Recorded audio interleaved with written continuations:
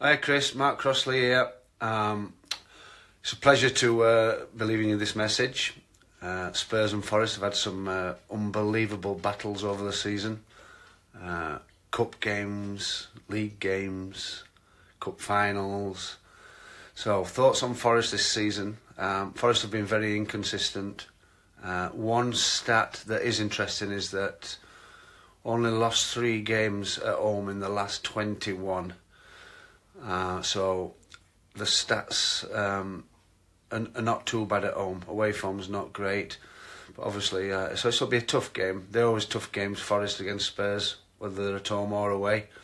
Um, thoughts on Postecoglou this season? What a breath of fresh air! Absolutely love listening to him. Love his interviews. Love the way his teams play, and I think Spurs have been absolutely top draw this season, uh, especially without Harry Kane. Uh, Brennan Johnson, what an unbelievable talent, uh, a, a great signing, uh, one for the future, most certainly. Quick, got pace, very confident young man, um, and going to be a top, top player. So on Friday night, uh, probably going to be very cagey from a Forest point of view. We'll probably sit back uh, and try to uh, attack on the counter because we know that how well Spurs can keep the ball and how dangerous they are going forward. So I might sound a little bit biased here, but I'm going to go for a 1-1 draw. I think Forest uh, might nick one on the break and, and try and hold out at the end.